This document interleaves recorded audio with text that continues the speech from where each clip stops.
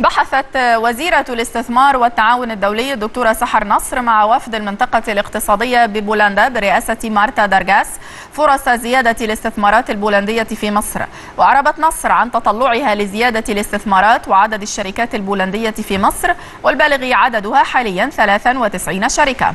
وإقامة شراكات ناجحة بين رجال القطاع الخاص في البلدين مؤكدة أن مصر سوق مفتوحة للتوسع في الاستثمارات البولندية.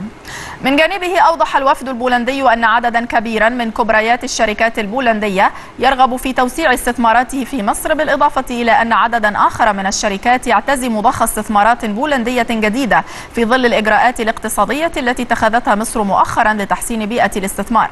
وأشاروا إلى أن مجموعة بوريسيزيو البولندية إحدى أكبر المجموعات العالمية في إنتاج مكونات وقطع غيار السيارات والتي تمتلك نحو 60 مصنعا بقارات العالم كافة ترغب في الاستثمار في مصر عبر إقامة مصنعها الأول في منطقة الشرق الأوسط.